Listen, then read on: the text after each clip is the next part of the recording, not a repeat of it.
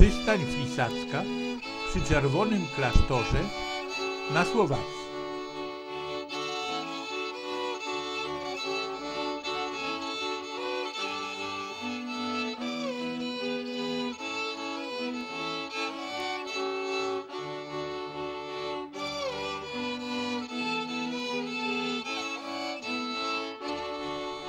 Klasztor założony został w początku XIV wieku przez magistra Kokosza z rodu Berezowicki. Stało się to na mocy wyroku sądowego, który był jednym ze składników kary za zabicie Fryderyka, prepozyta szańskich krzyżowców w Chmielowie.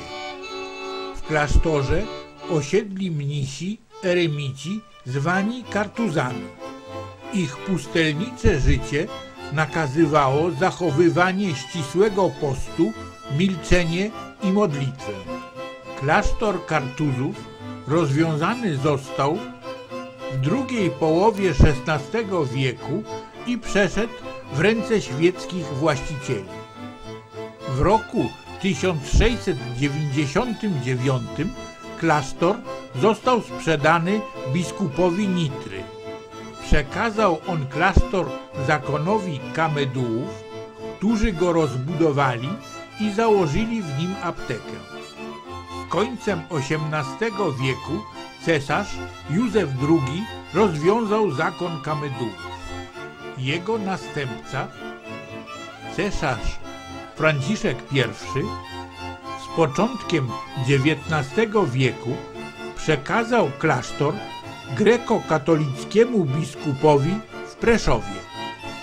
W roku 1907 klasztor spłonął i dopiero w latach 1955-1966 został w pełni odbudowany i przekazany na cele muzealne.